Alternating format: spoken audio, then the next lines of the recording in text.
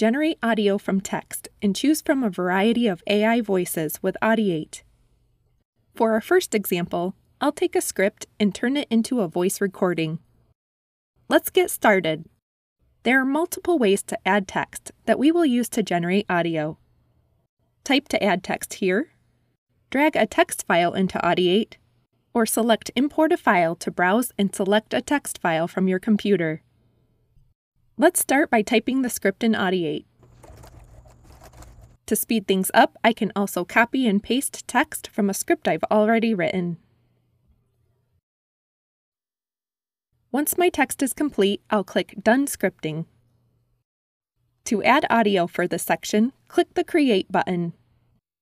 The default voice is currently selected. Choose between different languages, voices, styles, speed, pitch, or start with a preset. The best way to explore the different options is to change settings, then click on Preview. Let's change the voice to Nancy and see how it sounds. Hello, my name is Nancy. I want to make one more adjustment, so I'll change the style to friendly. Now that I have an option I like, I'll click Generate Audio. My audio is now generated with this new voice. Press play to listen. In today's session, we are going to cover the three tips to improve your audio recording. If I forget a line, I'll add it in by double clicking a text box or clicking on the scripting mode icon. Press Done Scripting to regenerate audio. This ensures that your audio sounds seamless no matter what edits you make to your script. To remove a section, double click, drag, and press Delete.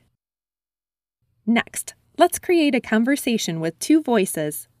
Double click in the text box to open scripting mode and press Enter twice to create a new section. Type in text, then click on the Settings button. Select a different voice and click Generate Audio. Press play to listen to the conversation. One of the most common mistakes I've made is not checking whether the cords were secured between my microphone and computer. For the next example, I'll replace my recorded audio with a new voice. I'll click on the record button. Ready in three, two, one. Hello, in today's session, we are going to cover three tips. Then press stop. Let's say I had to stop my recording early because I noticed there was a lot of noise in the background. Instead of recording my voice, I'll double click to open scripting mode and type out the rest of the audio. You'll see my account photo appear on the left, indicating this section contains recorded audio, and the Create button icon for this section that I typed. To replace my voice, I'll click on my account photo icon. Then select a new voice. To generate audio for your entire project, including the section where I typed the new audio, click on the toggle to apply to entire project, then generate audio. Let's see how it sounds. Hello, in today's session, we are going to cover three tips. The first tip is to take a moment before you begin recording to listen to your surroundings. Here's another time saving tip. To save your favorite voice options after you've made any desired changes, click on the Preset menu and select Save Preset. Give it a name and click OK.